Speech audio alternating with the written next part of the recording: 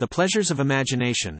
The first book by Mark Akenside with what attractive charms this goodly frame of nature touches the consenting hearts of mortal men, and what the pleasing stores which beauteous imitation thence derives to deck the poet's, or the painter's toil, my verse unfolds. Attend, ye gentle powers of musical delight, and while I sing your gifts, your honors, dance around my strain, thou, smiling queen of every tuneful breast, indulgent fancy, from the fruitful banks of Avon, whence thy rosy fingers cull fresh flowers and dews to sprinkle on the turf where Shakespeare lies, be present. And with thee let fiction come, upon her vagrant wings wafting ten thousand colors through the air, which, by the glances of her magic eye, she blends and shifts at will, through countless forms, her wild creation. Goddess of the lyre, which rules the accents of the moving sphere, wilt thou, eternal harmony, descend and join this festive train? For with thee comes the guide, the guardian of their lovely sports, majestic truth, and where truth deigns to come, her sister liberty will not be far. Be present all ye genii, who conduct the wandering footsteps of the youthful bard, new to your springs and shades, who touch his ear with finer sounds, who heighten to his eye the bloom of nature, and before him turn the gayest, happiest attitude of things. Oft have the laws of each poetic strain the critic verse employed, Yet still unsung lay this prime subject, though importing most a poet's name. For fruitless is the attempt, by dull obedience and by creeping toil obscure to conquer the severe ascent of high Parnassus. Nature's kindling breath must fire the chosen genius. Nature's hand must string his nerves, and imp his eagle wings impatient of the painful steep, to soar high as the summit, there to breathe at large ethereal air, with bards and sages old, immortal sons of praise. These flattering scenes to this neglected labor court my song, yet not unconscious what a doubtful task to paint the finest features of the mind, and to most subtle and mysterious things give color, strength, and motion. But the love of nature and the muses bids explore, through secret paths erewhile untrod by man, the fair poetic region, to detect untasted springs. To drink inspiring draughts, and shade my temples with unfading flowers culled from the laureate vale's profound recess, where never poet gained a wreath before. From heaven my strains begin. From heaven descends the flame of genius to the human breast, and love and beauty, and poetic joy and inspiration. Ere the radiant sun sprang from the east, or, mid the vault of night the moon suspended her serener lamp, ere mountains, woods, or streams adorned the globe, or wisdom taught the sons of men her lore, then lived the Almighty One. Then, deep retired in his unfathomed essence, viewed the forms, the forms eternal of created things, the radiant sun, the moon's nocturnal lamp, the mountains, woods and streams, the rolling globe, and wisdom's mean celestial. From the first of days, on them his love divine he fixed, his admiration, till in time complete, what he admired and loved, his vital smile unfolded into being. Hence the breath of life informing each organic frame, hence the green earth, and wild resounding waves, hence light and shade alternate, warmth and cold, and clear autumnal skies and vernal showers, and all the fair variety of things, but not alike to every mortal eye is this great scene unveiled. For since the claims of social life, to different labors urge the active powers of man, with wise intent the hand of nature on peculiar minds imprints a different bias, and to each decrees its province in the common toil. To some she taught the fabric of the sphere, the changeful moon, the circuit of the stars, the golden zones of heaven. To some she gave to weigh the moment of eternal things, of time, and space, and fate's unbroken chain, and will's quick impulse. Others by the hand she led o'er vales and mountains, to explore what healing virtue swells the tender veins of herbs and flowers, or what the beams of morn draw forth, distilling from the clifted rind in balmy tears. Dot. But some, to higher hopes were destined. Some within a finer mold she wrought, and tempered with a pure flame. To these the Sire Omnipotent unfolds the world's harmonious volume, there to read the transcript of himself. On every part they trace the bright impressions of his hand, in earth or air, the meadow's purple stores, the moon's mild radiance, or the virgin's form blooming with rosy smiles, they see portrayed that uncreated beauty, which delights the mind supreme. They also feel her charms, enamored, they partake the eternal joy. For as old Memnon's image, long renowned by fabling Nilus, to the quivering touch of Titan's ray, with each repulsive string consenting, sounded through the warbling air unbidden strains.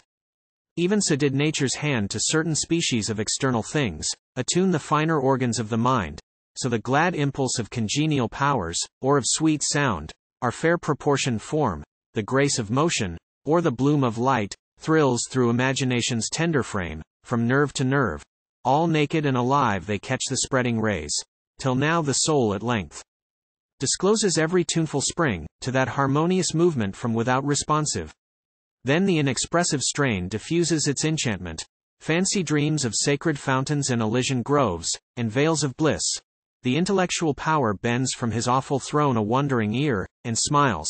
The passions, gently soothed away, sink to divine repose, and love and joy alone are. Waking. Love and joy, serene as airs that fan the summer. Oh, attend. who Whoe'er thou art, whom these delights can touch, whose candid bosom the refining love of nature warms, oh! Listen to my song, and I will guide thee to her favorite walks, and teach thy solitude her voice to hear, and point her loveliest features to thy view. Know then, whate'er of nature's pregnant stores, whate'er of mimic art's reflected forms with love and admiration thus inflame the powers of fancy, her delighted sons to three illustrious orders have referred, three sister graces, whom the painter's hand, the poet's tongue confesses. The sublime, the wonderful, the fair. I see them dawn, I see the radiant visions, where they rise, more lovely than when Lucifer displays his beaming forehead through the gates of morn, to lead the train of Phoebus in the spring. Say, why was man so eminently raced amid the vast creation? Why ordained through life and death to dart his piercing eye, with thoughts beyond the limit of his frame, but that the Omnipotent might send him forth in sight of mortal and immortal powers, as on a boundless theater, to run the great career of justice, to exalt his generous aim to all diviner deeds, to chase each partial purpose from his breast, and through the mists of passion and of sense, and through the tossing tide of chance and pain, to hold his course unfaltering, while the voice of truth and virtue, up the steep ascent of nature, calls him to his high reward, the applauding smile of heaven? Else wherefore burns in mortal bosoms this unquenched hope, that breathes from day to day sublimer things, and mocks possession? Wherefore darts the mind, with such resistless ardor to embrace majestic forms, impatient to be free, spurning the gross control of wilful might, proud of the strong contention of her toils, proud to be daring? Who but rather, turns to heaven's broad fire his unconstrained view, than to the glimmering of a waxen flame? Who that, from alpine heights, his laboring eye shoots round the wide horizon, to survey Nilus or Ganges rolling his bright wave through mountains, plains, through empires black with shade and continents of sand, will turn his gaze to mark the windings of a scanty rill that murmurs at his feet, the high-born soul disdains to rest her heaven aspiring wing beneath its native quarry. Tiered of earth and this diurnal scene, she springs aloft through fields of air, pursues the flying storm, rides on the volleyed lightning through the heavens, or, yoked with whirlwinds in the northern blast, sweeps the long tract of day. Then high she soars the blue profound, and, hovering round the sun beholds him pouring the redundant stream of light, beholds his unrelenting sway bend the reluctant planets to absolve the fated rounds of time. Thence far effused she darts her swiftness up the long career of devious comets, through its burning signs exulting measures the perennial wheel of nature, and looks back on all the stars, whose blended light, as with a milky zone, invests the Orient. Now amazed she views the imperial waste, where happy spirits hold, beyond this concave heaven, their calm abode, and fields of radiance, whose unfading light has traveled the profound 6,000 years, nor yet arrives in sight of mortal things.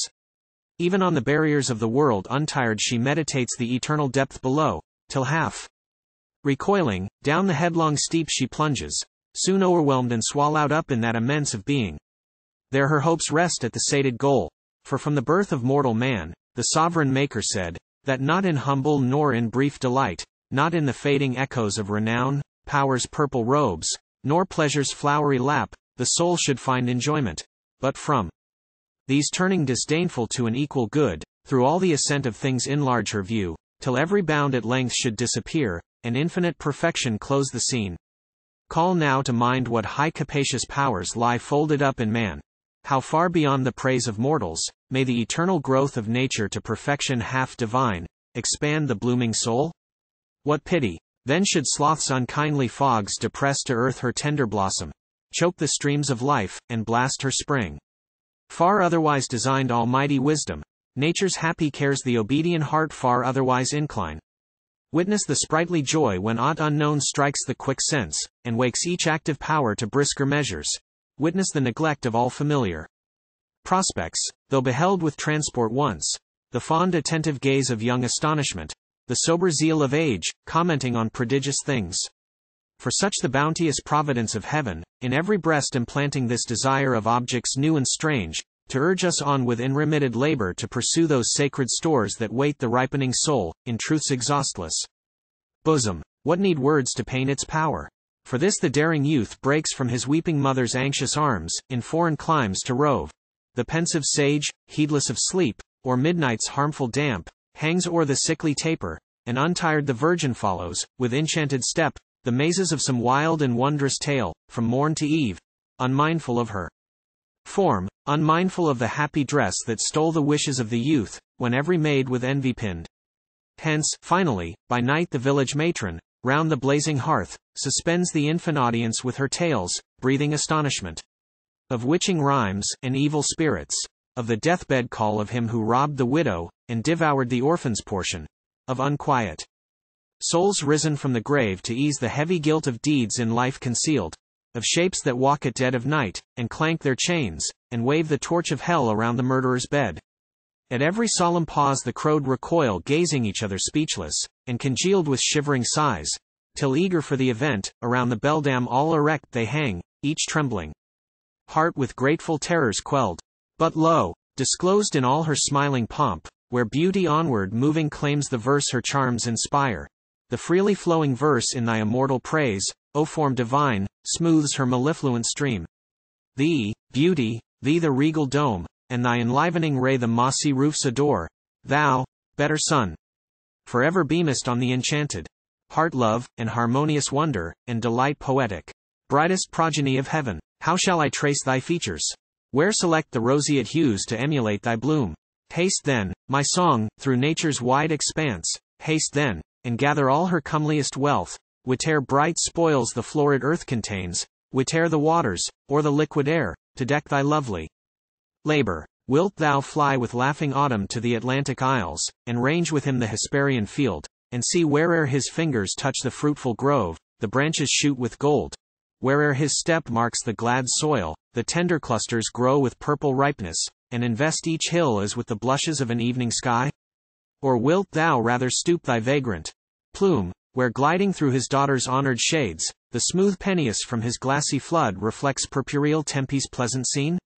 Fair Tempe, haunt beloved of sylvan powers, of nymphs and fauns, where in the golden age they played in secret on the shady brink with ancient Pan, while round their coral steps young hours and genial gales with constant hand showered. Blossoms, odors, showered ambrosial dews, and spring's Elysian bloom. Her flowery store to thee nor Tempe shall refuse, nor watch of winged Hydra guard Hesperian fruits from thy free spoil.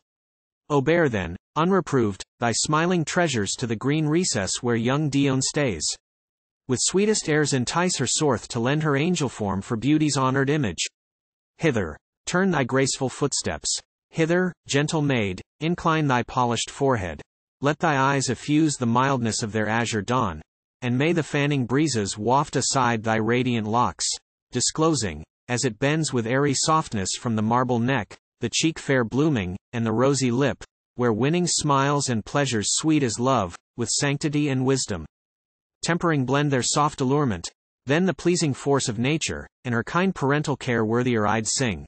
Then all the enamored youth, with each admiring virgin, to my lyre should throng attentive, while I point on high where beauty's living image, like the morn that wakes in Zephyr's arms the blushing May, moves onward, or as Venus, when she stood effulgent on the pearly car, and smilled, fresh from the deep, and conscious of her form, to see the Tritons tune their vocal shells, and each Cerulean sister of the flood with loud acclaim attend her o'er the waves, to seek the Idalian bower.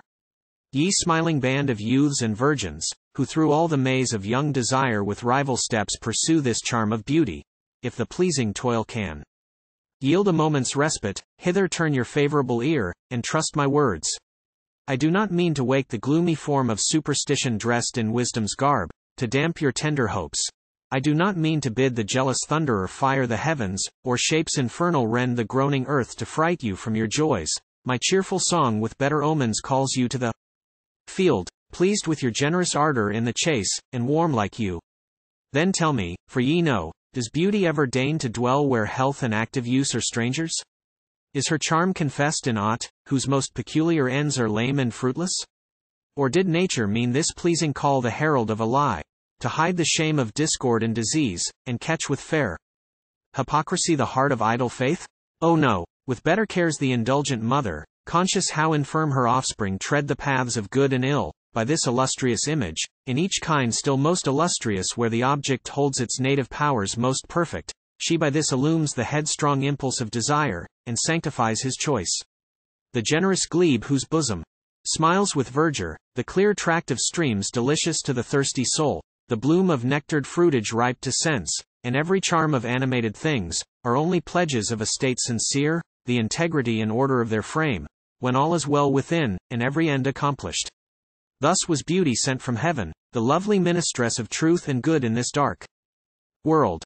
For truth and good are one, and beauty dwells in them, and they in her, with like participation. Wherefore then, O sons of earth, would ye dissolve the tie? O wherefore, with a rash impetuous aim, seek ye those flowery joys with which the hand of lavish fancy paints each flattering scene where beauty seems to dwell, nor once inquire where is the sanction of eternal truth, or where the seal of undeceitful good, to save your search from folly. Wanting these, lo, beauty withers in your void embrace, and with the glittering of an idiot's toy did fancy mock your vows. Nor let the gleam of youthful hope that shines upon your hearts, be chilled or clouded at this awful task, to learn the lore of undeceitful good, and truth eternal. Though the poisonous charms of baleful superstition guide the feet of servile numbers, through a dreary way to their abode, through desarts, thorns and mire, and leave the wretched pilgrim all forlorn to muse at last, amid the ghostly gloom of graves, and hoary vaults, and cloistered cells, to walk with spectres through the midnight shade, and to the screaming owl's accursed song attune. The dreadful workings of his heart, yet be not ye dismayed. A gentler star your lovely search illumines. From the grove where wisdom talked with her Athenian sons, could my ambitious hand entwine a wreath of Plato's olive with the Mantuan bay, then should my powerful verse at once dispel those monkish horrors, then in light divine disclose the Elysian prospect, where the steps of those whom nature charms, through blooming walks, through fragrant mountains and poetic streams, amid the train of sages, heroes, bards, led by their winged genius and the choir of laureled science and harmonious art, proceed exulting to the eternal shrine, where truth conspicuous with her sister twins, the undivided partners of her sway, with good and beauty reigns. Oh, let not us, lulled by luxurious pleasure's languid strain, or crouching to the frowns of bigot rage, oh let us not a moment pause to join that godlike band.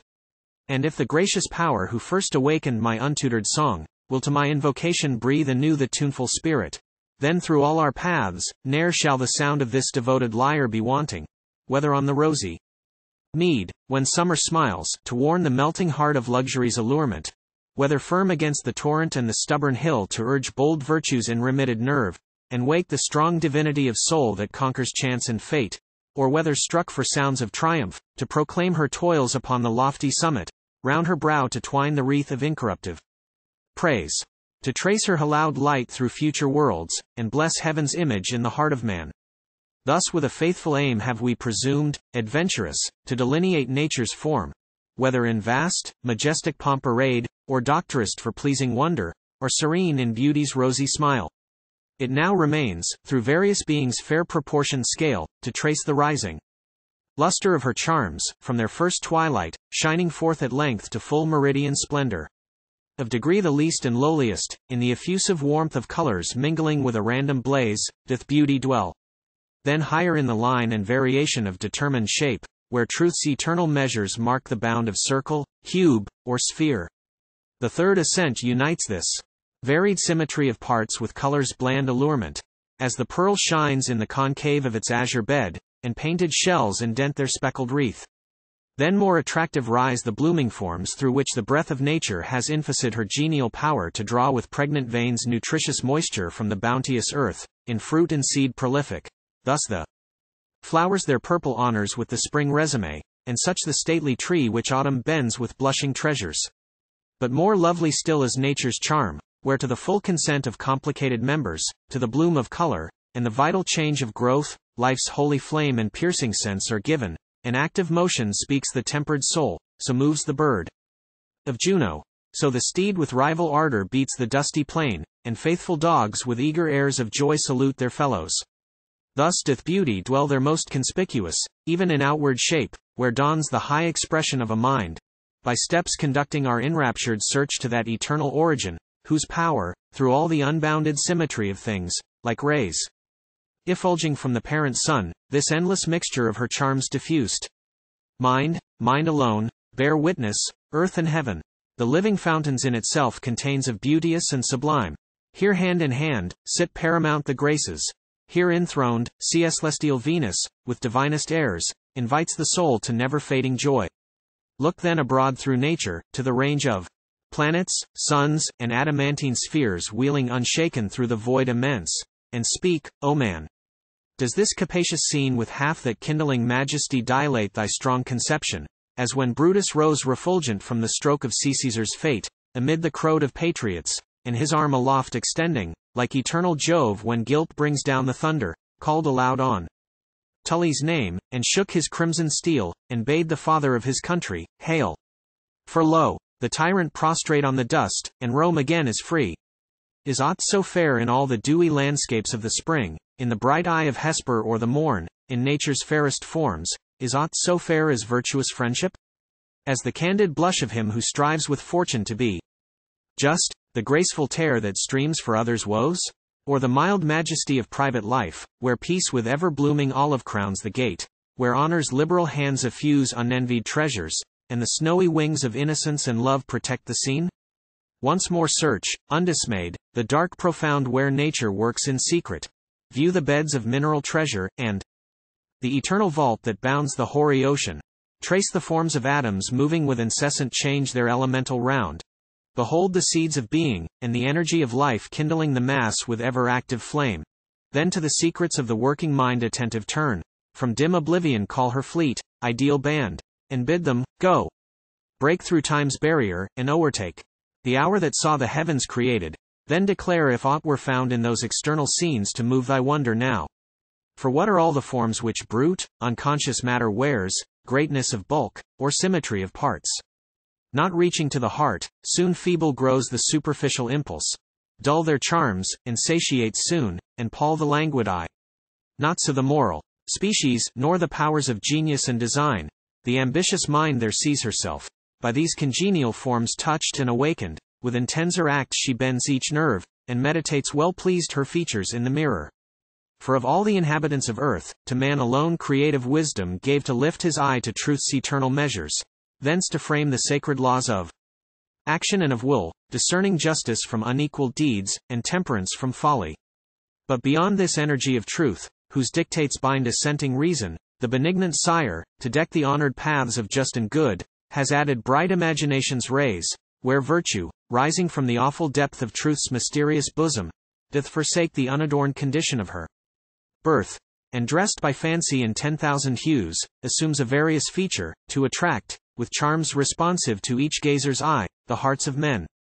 Amid his rural walk, the ingenuous youth, whom solitude inspires with purest wishes, from the pensive shade beholds her moving, like a virgin muse that wakes her lyre to some indulgent theme of harmony and wonder, while, among the herd of servile minds, her strenuous form indignant flashes on the patriot's eye, and through the rolls of memory appeals to ancient honor, or in act serene, yet watchful, raises the majestic sword of public power, from dark ambition's reach to guard the sacred volume of the laws. Genius of ancient Greece, whose faithful steps well pleased I follow through the sacred paths of nature and of science, nurse divine of all heroic deeds and fair desires. Oh, let the breath of thy extended praise inspire my kindling bosom to the height of this untempted theme.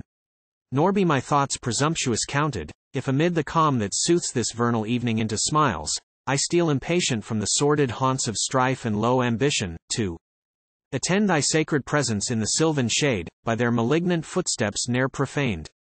Descend, propitious, to my favored eye, such in thy mien, thy warm, exalted air, as when the Persian tyrant, foiled and stung with shame and desperation, gnashed his teeth to see thee rend the pageants of his throne, and at the lightning of thy lifted spear crouched like a slave. Bring all thy martial spoils, thy palms, thy laurels, thy triumphal songs, thy smiling band of arts, thy godlike sires of civil wisdom, thy heroic youth warm from the schools of glory. Guide my way walk, the green retreats of Academus, and the thymy vale, where oft enchanted with Socratic sounds, Ilissus pure devolved his tuneful stream in gentler murmurs.